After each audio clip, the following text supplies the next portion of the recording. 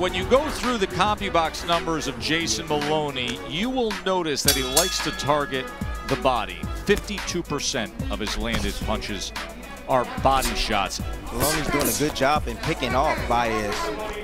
I love the temperament of Moloney. He's standing his ground right now, and he's winning his battle in the inside against Baez. He's beating him in his own fight. I just wanted this so bad. I'm so driven and so dedicated, and I just want this so much. I knew Leonardo Baez was going to be a really, really tough challenge.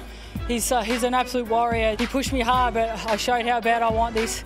You see how he's staying tight and he's not pulling back, he's not giving ground. He really sits down when he digs to the body. Great technique by Moloney.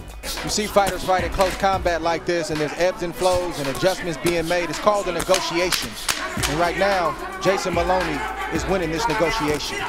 Jason Moloney didn't just beat up the body of Baez. He took his mind from him. It's very, very difficult to want to continue to fight when you're giving your best and your best just isn't good enough. Fight is stopped. TKO victory.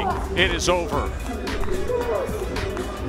Celebration has begun. This is a big, big step to, towards me fighting for another world title, and I want that dream. I want that belt so bad.